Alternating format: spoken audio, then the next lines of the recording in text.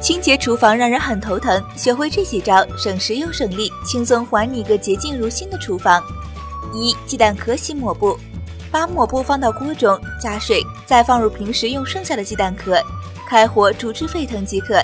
把抹布取出来，用清水洗净，干净的抹布就回来了。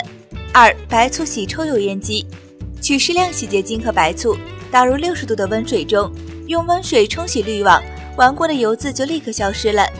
三、柚子皮清除异味，水池的下水口总有异味飘出，把柚子皮切成小块煮水，煮至沸腾，将煮好的柚子皮水倒入下水口，异味就能消除了。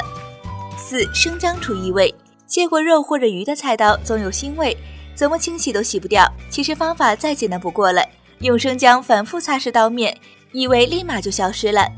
网友们，你还知道哪些厨房的小技巧呢？不妨留言与我们一起分享吧。